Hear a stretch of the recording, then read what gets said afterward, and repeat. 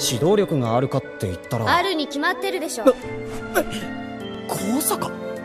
なんでここに？私の家この近くだし。見たことなかった。電車使ってないからじゃない？私自転車通学だから。言っとくけど滝先生すごい人だから。バカにしたら許さないから。あ分かった？わかった別にバカにした何か言った？いえ何でもないです